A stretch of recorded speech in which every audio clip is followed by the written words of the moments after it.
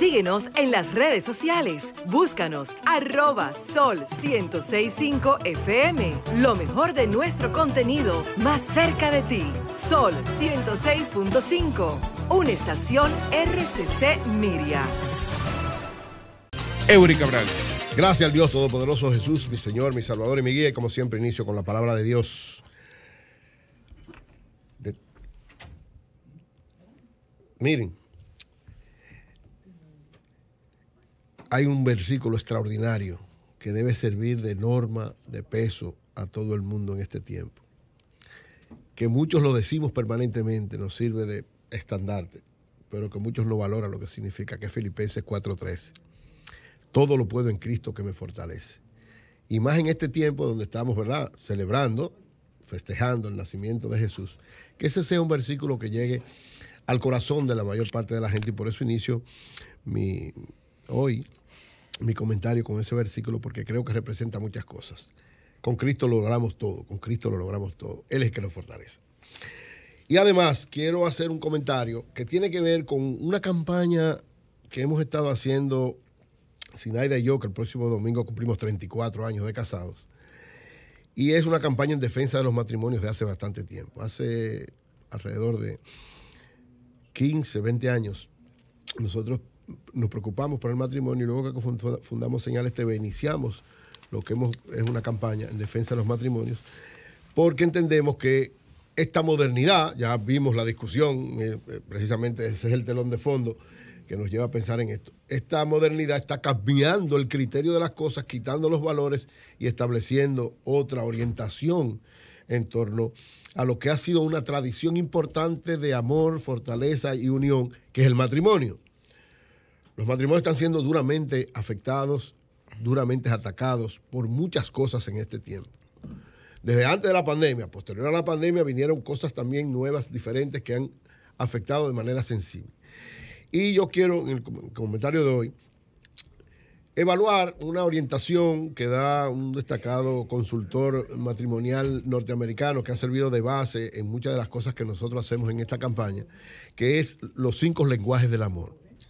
Es un libro de Gary Chapman que establece, Gary Chapman es un consultor mm, de matrimonio, es un pastor norteamericano que bueno, se hizo bastante famoso con este libro, que ha sido un bestseller en sentido general, pero que trata cinco elementos importantes, sobre todo para la relación de pareja en este tiempo, porque es importante para una pareja mantenerse, respetarse, lograr que su amor se preserve por encima de todo, conocer cuál es el lenguaje fundamental del amor de su otra pareja y conocerlo discutirlo y practicarlo sobre todo. ¿Cuáles son esos cinco lenguajes del amor según Gary Chapman que es importante para cualquier matrimonio en este tiempo y en todos los tiempos?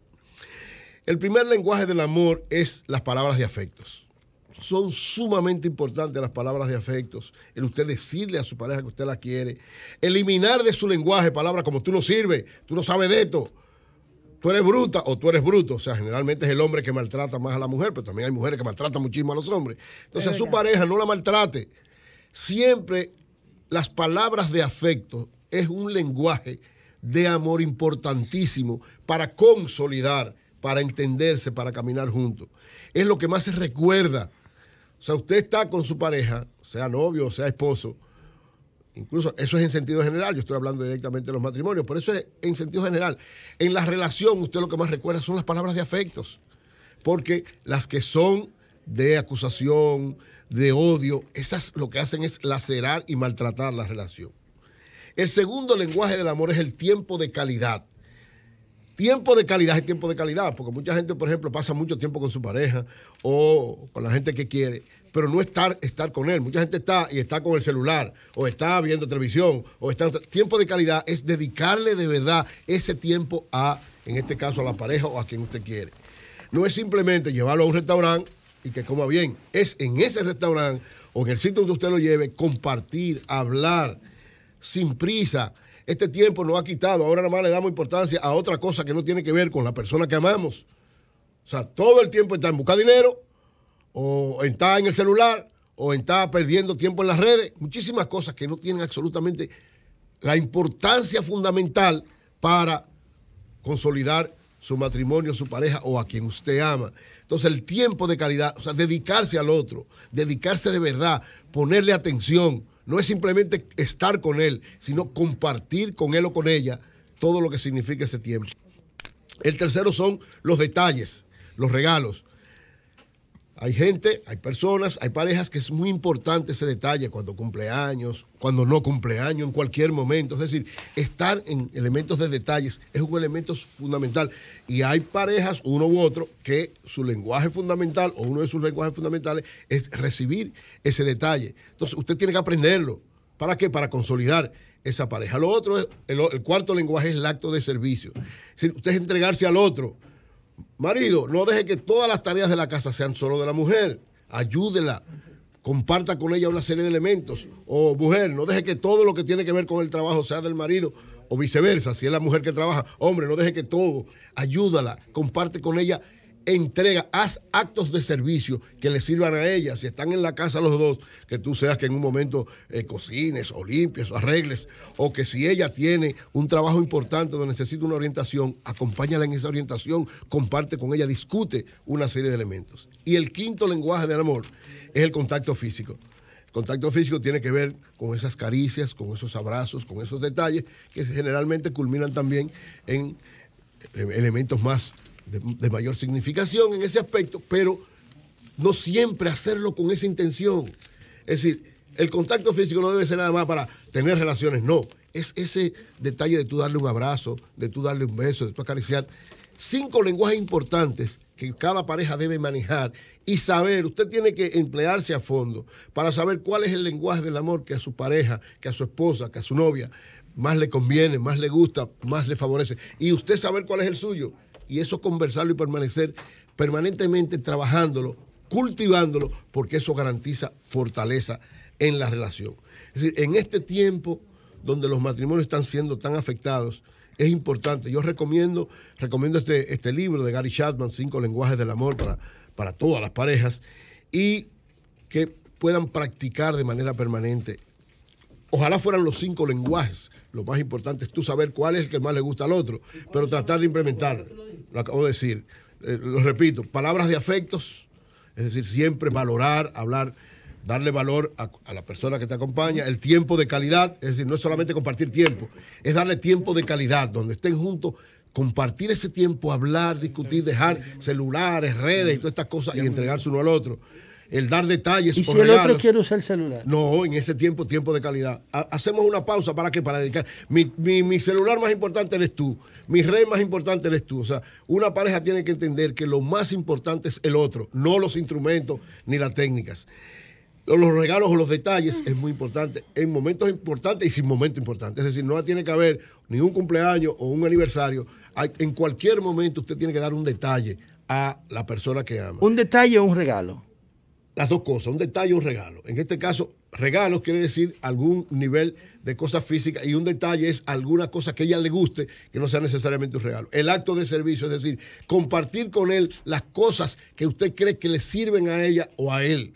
Si están en la casa descansando y ella que le toca toda la tarea de la casa, hermano, ayúdala, o viceversa. Si están en el trabajo y necesita una orientación importante la esposa o el esposo, acompáñela, ayúdela. Y finalmente el contacto físico, el abrazo, la caricia, parejas que crean que es solamente sexo y dinero fracasaron. eso no es matrimonio. Eso es una conveniencia. Es verdad. Es decir, lo correcto para tener un matrimonio es usted saber, en este caso, ¿verdad? manejar qué es lo que el otro necesita. En olla. Aunque estén en olla. Es más, los matrimonios más importantes, oigan bien, no es el dinero que lo hace. El dinero no da la felicidad. Eso es falso. Ni el sexo tampoco. Es decir, el matrimonio no es eso. El que crea eso va a terminar o divorciado o con un amante. te mira, mira. O divorciado con un amante. Entonces, ¿qué es lo importante? En un matrimonio lo importante es usted ver que esa es una manifestación importante de entregarse el uno al otro en crisis, con dinero, sin dinero, porque oigan bien, la mayor parte de los matrimonios que viven una situación y encuentran dinero de sopetón y no saben manejar eso con cariño y amor de ellos, fracasan, terminan de una vez. Entonces, por eso reitero, cinco lenguajes importantes en cualquiera que sea la situación.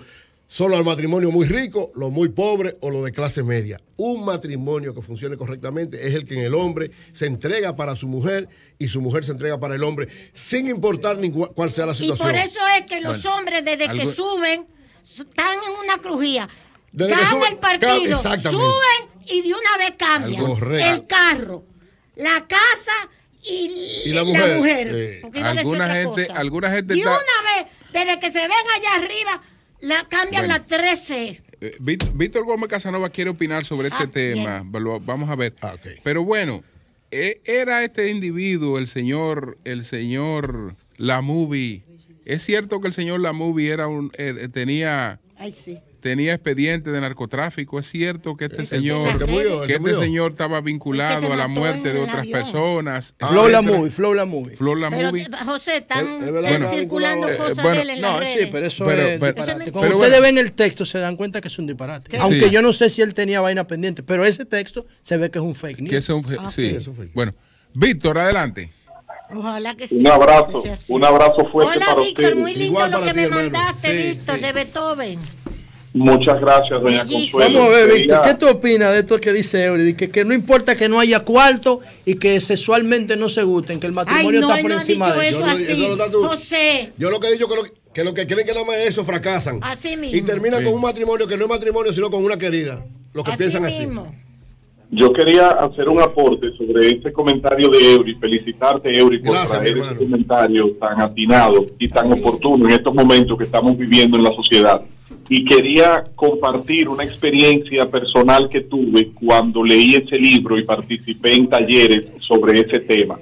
José La Luz tiene razón, el sexo y la estabilidad económica son fundamentales para el mantenimiento de una relación, pero con eso solo no basta, José, porque pueden tener buena calidad sexual y buena estabilidad económica y sentir vacíos emocionales como tampoco se completaría solamente llenando los aspectos emocionales y sin tener una buena calidad sexual y estabilidad económica. Ahora bien, sobre el tema de Eury puntual, quiero Eury compartirte esta experiencia. Ah, el profesor, la persona que nos estaba dando el taller, nos decía, los cinco lenguajes del amor es como que un chino se enamore de una brasileña el chino habla mandarín, la brasileña habla portugués. ¿Cómo pueden comunicarse? Ya es que el chino aprenda portugués o que la brasileña aprenda mandarín. Entonces es importante, y quería sumarle a tu comentario, no solamente conocer los cinco lenguajes del amor, que como tú muy bien señalaste son las palabras de afecto y afirmación, los actos de servicio, el contacto físico, tiempo de calidad, y el dar regalos y detalles, sino aprender cuál es el idioma de mi pareja y cuál es el mío. cuando, para te, yo, cuando, te, estaba escuchando, cuando te estaba escuchando me acordaba de las tres tesis filosóficas de Casimiro Castro. ¿Qué decía Julio? ¿Mm? Oye ahora. ¿Qué, ¿Cuál es la eh, tesis de Casimiro Castro? Las tres tesis filosóficas, el trago a tiempo, el sancocho caliente y el abrazo cordial. Sí, porque la cuando tesis filosófica de Casimiro Castro. No, para pa, pa, para para la política. Pero debo, pero todo, pero todo se relaciona y todo tiene sentido, porque fíjate, sí, y, otra cosa, Eury, que también quería aportarle a tu comentario, esos cinco lenguajes del amor no son suficientes solamente para la pareja, tú lo puedes aplicar con tus hijos, con tus amistades, con, tus padres, con tus hermanos. Así es. O sea, es cuestión de tú analizar, yo le quiero hacer un agrado, yo quiero tener una buena relación con mi amigo Julio Martínez Pozo. ¿Cuál es su idioma del amor? ¿Cuál es su lenguaje del amor? Bueno, a él le gusta beber unos tragos, así como la tesis de Casimiro Castro. Bueno, pues entonces yo no soy bebedor, pero me dedico a compartir tiempo de calidad bebiendo un buen vino con Julio. Mm pero al mismo tiempo, si con José me interesa compartir y fortalecer mi amistad y su lenguaje del amor es actos de servicio, pues déjame involucrarme en actos de servicio. Si con Doña Consuelo es toque físico, pues déjame abrazarla y besarla. Si con Eury es palabra de afirmación, cada rato. Exacto. Si con Eury es palabra de afirmación, pues déjame decirle a Eury que lo quiero, que es importante para mí y hacerle saber verbalmente lo que siento por él. No es solamente para las parejas, es una, es una tesis de desarrollo de relaciones humanas que se profundiza en la pareja, pero que sirve para todos. y creo que es muy valioso que Eury lo haya traído hoy, te felicito. Gracias, y José tiene razón, lo que, lo que José plantea no entra en contradicción con lo tuyo. Creo que se complementan ambos. Víctor. ¿Qué, sabes de, este accidente, Víctor? Ay, Julio, yo me he sentido tan mal con esta situación. Yo conocía eh, a la niña, a, la hija de, de O sea, él, es un amigo. Él, es, ¿Tú dices a Verónica? sí, a Verónica. Ella es hija de Silvino Estrella. Eh, Silvino es un amigo muy querido que empezó, eh, lo conozco desde los años de nuestra participación en la juventud del Partido Reformista. Silvino es sobrino del presidente del Senado, del ingeniero Eduardo Estrella. Ella, es sobrina nieta de, Eduardo Estrella. Eh, ella estaba trabajando en el Ministerio de Medio Ambiente, renunció la semana pasada porque su sueño siempre era ser azafata. Era la primera vez que ella estaba ya cumpliendo ese rol. No estaba inscrita como tripulante porque su licencia estaba en proceso de solicitud y primero se hace una especie de pasantía antes de ya tener la licencia definitiva. Eh, de acuerdo a, yo escuché la entrevista que ustedes le hicieron ayer al técnico especializado en materia, parece que hubo una situación que imposibilitó el aterrizaje exitoso, así fuera de emergencia, pero hay aterrizaje de emergencia en el aeropuerto de las Américas. Pero también he visto con mucha tristeza cómo se quiere aprovechar una tragedia para introducir elementos de carácter eh, de cuestionamientos políticos por tratarse de una empresa del, del, licenciado Gonzalo Castillo, que fue pasado ministro y candidato presidencial. Y por favor, yo creo que debemos respetar el dolor de esas familias. Ahí murieron empleados de esa empresa que estaban cumpliendo con su trabajo. El primero que no quería morir era el piloto y el copiloto que estaban manejando la aeronave. O sea, tenemos que tener un poquito de lógica. Las redes sociales tienen que tener un control emocional. No se puede llevar todo a un texto en un o a un post en Instagram, por Dios. Entonces, ahí, ahí murió esa familia, esos niños, ese, ese joven, el, el, el, productor musical, estaba aquí, José Laluz publicó unas fotografías de ellos celebrando un cumpleaños de uno de esos niños hace, hace apenas varios días. Esa familia murió entera con niños. Eh, entonces, eso es una tragedia que afecta a todo el mundo, que enluta a todo el mundo, que, que le hace daño emocional a todo el mundo.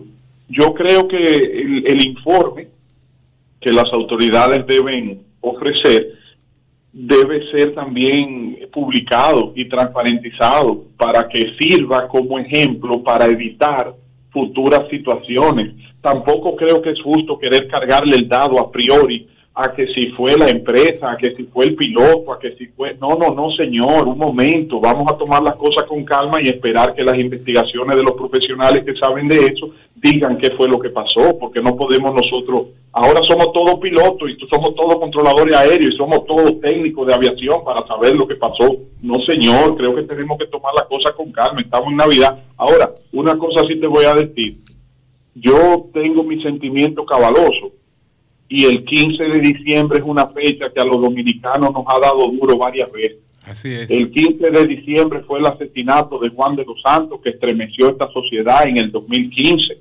Y mira el 15 de diciembre también ese accidente que también estremeció la sociedad con esa tragedia.